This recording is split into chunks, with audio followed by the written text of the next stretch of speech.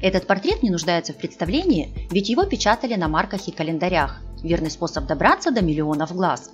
Сама же героиня портрета, Мария Ивановна Лопухина, прожила короткую и ничем не примечательную жизнь. Особенно на фоне бурных биографий ее родственников.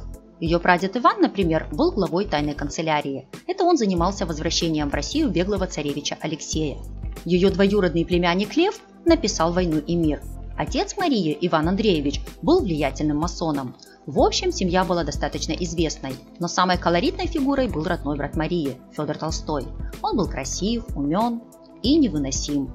Картежник, задира, дуэлянт, с кем только он не стрелялся, даже пытался с Пушкиным.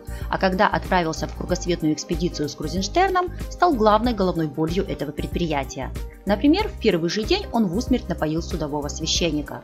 Приклеил его бороду к палубе сургучом с казенной печатью, а когда несчастный очнулся, уверил того, что печать ломать нельзя. Бороду святому отцу пришлось отрезать. Кстати, у нас на канале есть полная история жизни и приключений Федора Толстого. Кому интересно, ссылка в описании. А мы вернемся к нашей Марии. Юная графиня Толстая выросла в отцовском имении в Калагривском уезде Костромской области. В 18 лет она вышла замуж за Степана Лопухина. Именно он и заказал этот портрет модному петербургскому художнику Боровиковскому. К сожалению, Мария не была счастлива в браке. В браке с ничем не примечательным человеком старше нее на 10 лет, причем в браке не по любви, а по воле родителей. И всего через несколько лет, в 1803 году, Мария Лопухина скончалась от неизлечимой тогда чахотки. Девушке было всего 24 года. Супруг похоронил ее в родовой усыпальнице Лопухиных. А вскоре умер и сам. Он был захоронен в той же усыпальнице рядом с покойной женой. Так что Мария Лопухина прожила трагическую и очень короткую жизнь. И лишь после смерти к Лопухиной вдруг пришла слава. Наслышанная о ее красоте и печальной участи, представители света, которые не были прежде знакомы с нею лично, стали осаждать дом родственников Лопухиной чтобы увидеть прекрасную Марию хотя бы на портрете. И представьте, многие из юных посетительниц вскоре также заболевали чахотой и умирали. О портрете Лопухиной пошла страшная молва. Будто бы за молодыми девушками, взглянувшими на этот портрет, приходит смерть.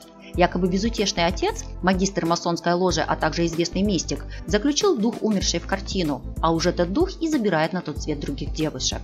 Но никакой мистики в этом, безусловно, не было. Просто чахотка в те времена была довольно распространенной и, увы, практически неизлечимой болезнью. А автором этой черной легенды, скорее всего, был все тот же Федор Толстой, брат Марии. По крайней мере, именно этому проказнику достался в наследство портрет, силами сплетников, становившийся с каждым годом все более и более знаменитым. Портрет долгое время хранился в доме Толстых.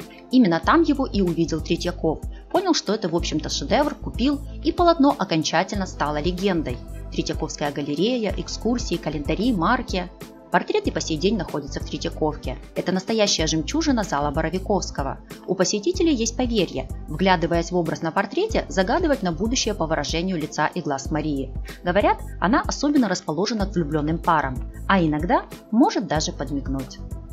Если вам понравилось это видео, ставьте лайк и подписывайтесь на канал.